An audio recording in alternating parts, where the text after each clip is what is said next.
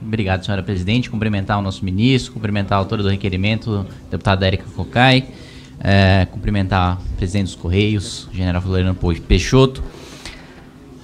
Colocar aqui que eu respeito o posicionamento do governo, mas fico triste de saber que ainda não há diretriz oficial para desestatização do serviço dos Correios. Né? Isso por razões práticas, senhor ministro, senhor presidente.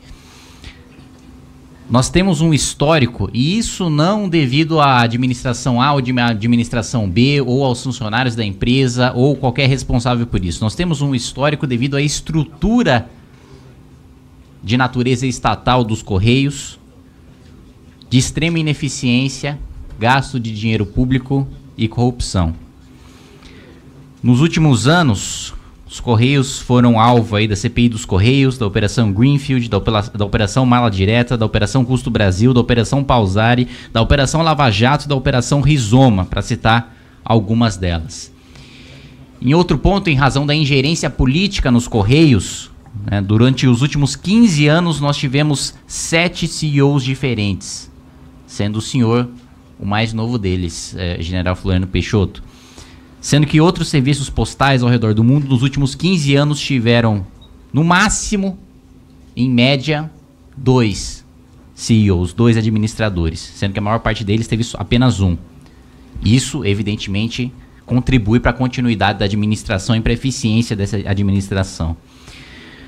Outro ponto da ineficiência é o excesso de sindicalização que tomou conta dos Correios também, greves e paralisações em 10 dos últimos 11 anos, sendo que parte dessas greves foram consideradas abusivas pela Justiça do Trabalho. E olha que para a Justiça do Trabalho considerar a greve abusiva, realmente o ponto da greve precisa é, passar do, do razoável. Como foi colocado aqui pela exposição do senhor, percentual gasto com pessoal nos Correios é superior a 60% da receita líquida das vendas, né, cerca de 12 bilhões de reais por ano.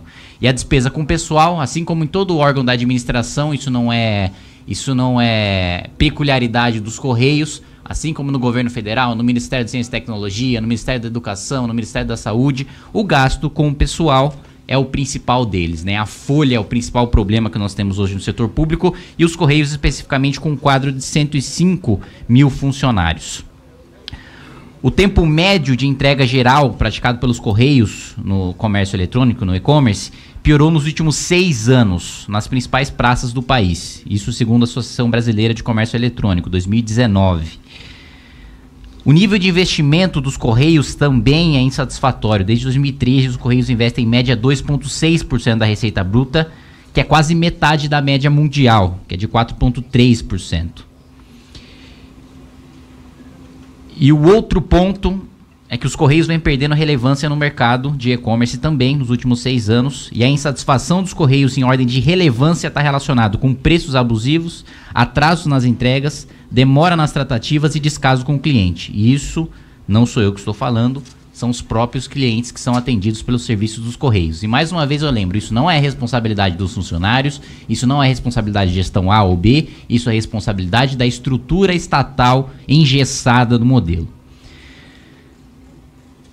O presidente colocou que,